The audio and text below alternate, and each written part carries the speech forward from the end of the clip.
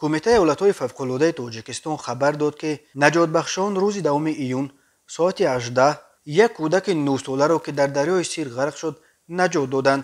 Ин кӯдак ин кӯдаки сокини деҳаи чорбоғи нояи варзоб дар қаламрави шаҳри хуҷанд зери об шудааст. Кумитаи ҳолатҳои фавқулода оббозӣ дар ҷои мамнӯъ риоя накардани қоидаҳои бехатарӣ ва беназоратии волидонро сабаби ин ҳодиса номид навбатдорони раёсати кумитаи ҳолатҳои фавқулода бо дарёфти хабари ғарқи об шудани ин духтарчаи нӯсола фавран ба ҷои ҳодиса расиданд ва ӯро аз гирдоби дарё берун оварданд. Расидани фаврӣ ба ҷои ҳодиса имкон дод ки ин духтарча солим аз об берун оварда шавад таъкид кардааст кумитаи ҳолатҳои фавқулода ҳамин тавр наҷотбахшон рӯзи 1 июн соати 14 як сокини 35солаи шаҳри хуҷандро аз ғарқшавӣ дар сирдарё наҷот доданд кумитаи ҳолатҳои фавқулода гуфт ин мард то ними дарё шино карда сипас зери об рафтааст.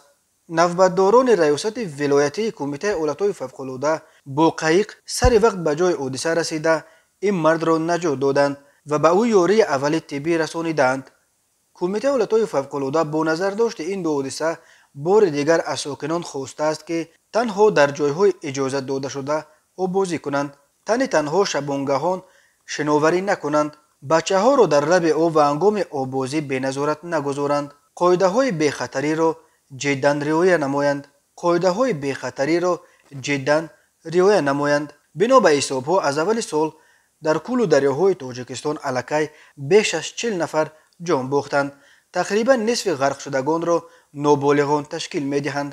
Кумитаи ҳолатҳои фавқулода ҳамчунин хабар дод ки дар шабонарӯзи гузашта наҷотбахшон дар душанбе ду дари бастаро боз ва мушкилии сокинони пойтахтро осон карданд. Дар яке аз онҳо тифлакон бо як пирамарди ҳафтодаҳсолаи маҷрӯи гурӯҳи якум дар монда буданд.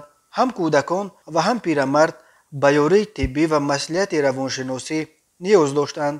Аммо бо вуҷуди ин имдодгарон ба волидони онҳо дар мавриди беназорат нагузоштани фарзандони ноболиғашон суҳбат карданд. Онҳо таъкид карданд ки вақте сухан аз бачаҳо меравад волидон ҳамеша бояд донанд ки на ҳар бор ин фаромӯшхотириву ин танҳогузориҳо паёмад нахоҳад дошт